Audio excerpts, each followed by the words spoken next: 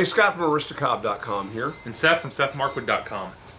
Together, the three of us, that's you and us, we are Markwood Men's Breakfast Club. Welcome back once again, and welcome to Tobacco Advent Day 11. Morning, boy. Good morning.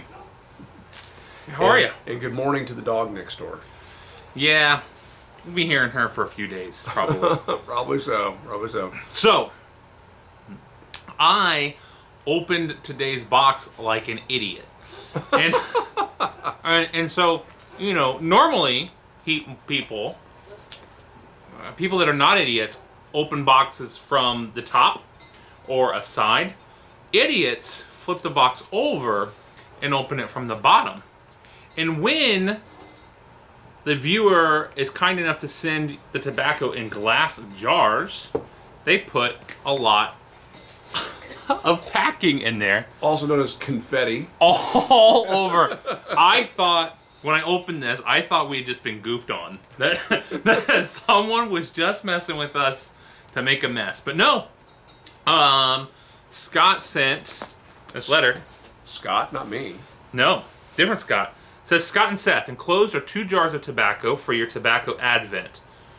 Comoy's cask 11, which is appropriate on day 11. Uh, a Balkan style blend, my everyday go to smoke. And Casey Jones Hero Blend, a vanilla aromatic, very similar to Lane 1Q in my opinion, but uh, opinions do vary. I hope you like them. Regards, Scott. Scott drew this awesome pipe. All right, so today uh, we're smoking number 11, cask 11, and maybe we'll get around to this one if we need it. Maybe not, but thank you for sending us two tobaccos. We do appreciate that. We will get around to smoking Oh, yeah. it. It may not be, be in Tobacco, Tobacco Advent. Advent, yeah. If not, it'll be in a Markwood Men's Breakfast Club episode. Uh, thank you. Yeah, so cask 11 is uh, is definitely a Latakia.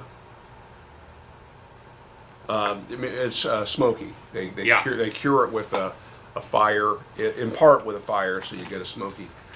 Yes, right out of the right out of the container. Just opening it up, it, it smells already smoky. It's- Like, did Scott already smoke that for us? Oh no, it's Latakia. that would be funny to do as well. Send somebody some ashes.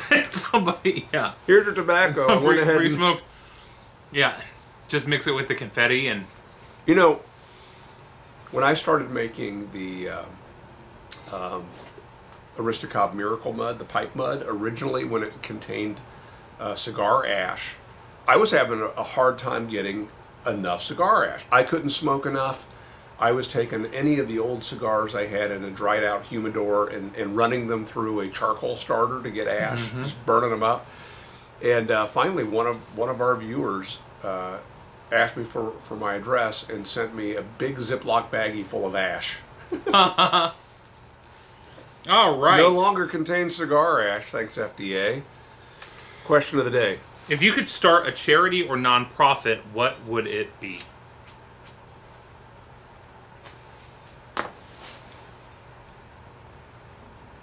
Well, you know what? We could uh, we could supply people with pipe tobacco ash. Yeah. We, there's certainly no profit in that. No, no, no. But does, would that qualify as charity? yeah, some would say. There's a part of me that would love to do it for profit, um, but uh, I, I could also see doing it uh, non-profit. Um, I really part of what I get to do in my day-to-day job is work closely with our marketing department, and um, in that process, have spent a lot of time uh, working on communication, working on making flyers, making um, just learning how to to market a business, and and I find myself drawn to helping people with that in their own business. And so, anytime somebody tells me they're working on a business endeavor or even a charity endeavor, just this week, somebody told me that they they were starting a, a new monthly meeting to talk about um, apologetics, um, and and so you know immediately I, I start asking questions about well how how are you drawing people in? Do you you know where can you gather between meetings? Do you have a Facebook group? are you emailing them? So well, yeah, I sent out sent out an email afterwards thanking people for coming, and then somebody sent me a question. I said, great. Did you send that question out to everybody or post it on Facebook anonymously? But answer it. You know, provide your answer because if one person has that question, other people have it. Um, stuff like that. I mean, I find myself giving that unsolicited advice often, and um, I think I think that that's I think I could help people um, grow a business and and or be successful in a business where they are. Um, and, I see it thinking back to when I was working in a high school. I see there's opportunity for helping um, people who maybe are not offered that many opportunities um, to to find a, a path uh, towards towards making an opportunity. You know, it's funny you would say that because that's super, super close to what I had thought, which would be to help people get businesses launched. Uh, uh, more cottage business than anything else because I think that there's so many opportunities for people. The uh, right now with YouTube, with Pinterest, with Facebook, with Etsy, with eBay, with Craigslist, we have so many free and inexpensive ways of connecting with other people in a marketplace. Mm-hmm. And it's not at all like it was in the past where you had to have a, a retail space, huge commitment up front, you got to buy signage, you got to hire staff and all that to actually be in business and get a business started. And I, I, have met people recently, and, and these are young folks that are not working, they're living at home, maybe dabbling in some education, but maybe not. And I don't I don't get where they they're seeing a block that's like the man is holding them back. No, there's no man paying any attention to you.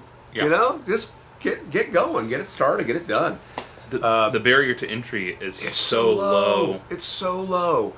Um, I in typically I, I've turned a lot of tools. I will buy the tools on Craigslist. I will sell the tool, tools on eBay. I don't buy them on eBay. I don't sell on Craigslist. Right?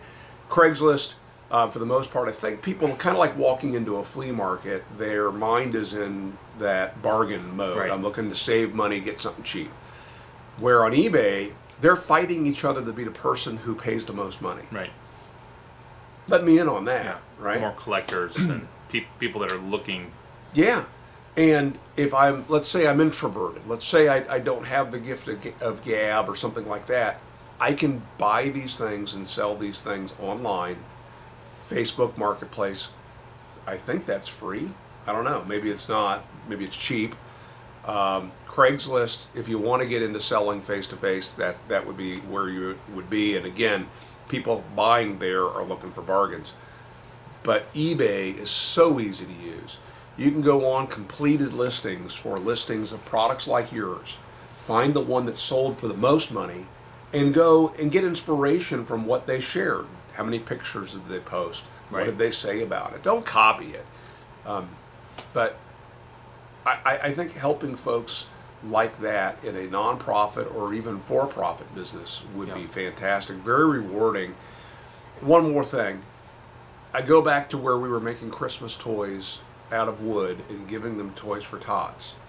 And finding out that uh, the Marines didn't pick up the toys until January, meaning the things that we were working so hard and trying to get done by Christmas time wouldn't be given out till next year.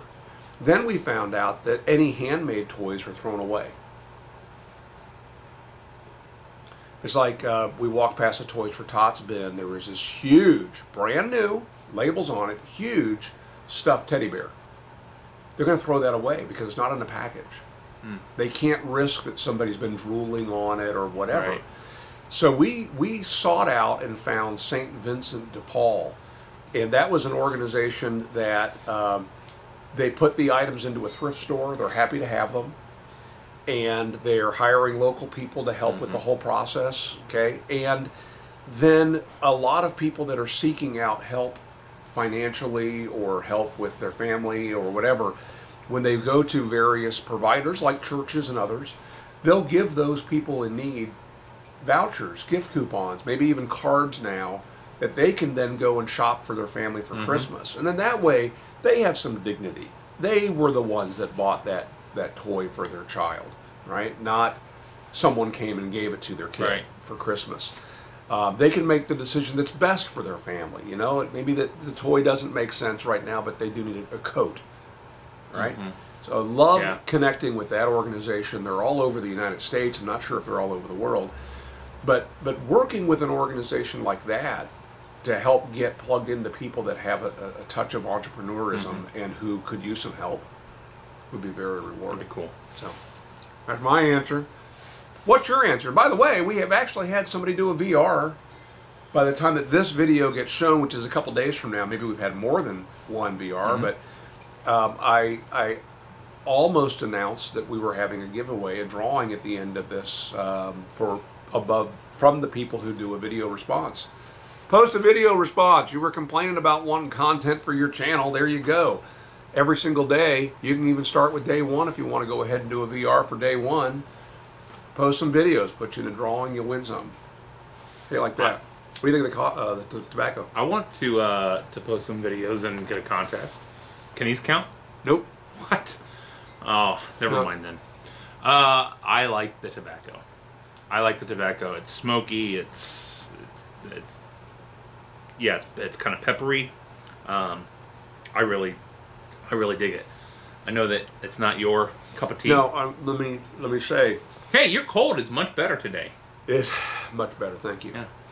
Um, it it is to me it's preferable to Perique.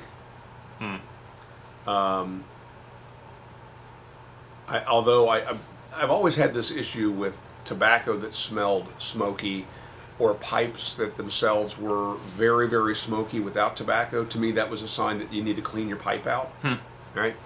Um, but slowly but surely, I'm, I'm I I wouldn't say I'm, I'm yet a convert, but at least I'm not complaining so much about Latakias. Oh yeah, I mean, over the years, if you go back and watch the first tobacco advent, it was Oh, It- it- it's a Latakia. Uh, it, it was uh yeah it, it seemed like torture every time well, we've smoked a few tobaccos since just then. just uh, just uh, one or two yeah broaden our horizons for sure Yeah.